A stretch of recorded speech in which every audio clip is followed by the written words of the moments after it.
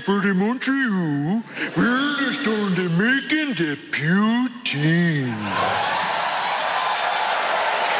Yep, yep, yep. So the first in the making the poutine is the potato. For the the potato, and for the chopping the potato, chop, chop, and the chop, chop, chop, chop the potato, and the toss the potato, and the meat the potato.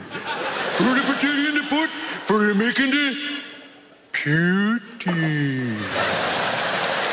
And for the poutine is this here this oh, it's this pretty very hot, very very hot the groovy. And the the juicy groovy. And we put the juicy groovy, juicy groovy. Juicy whip. And then the grooving is for the gusty, the cheese curd. And the cheese curd. And the there you go. There the there the cheese curd. There the cheese curd. There you go. Okay.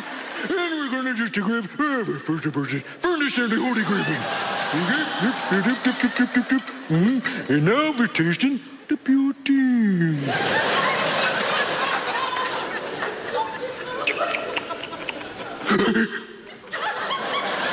Heard heard it, Jukin. They heard it, Jukin. Oh, oh no! It's surprising how many times I've had to do this since we got here.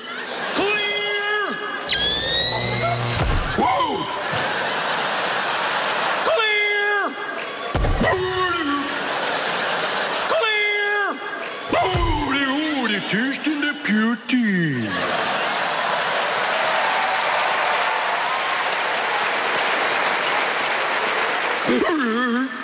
Heard it, Jukin. Clear!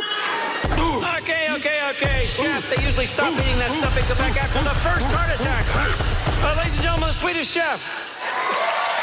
Yeah. I know it's corny, but I have to say that was shocking.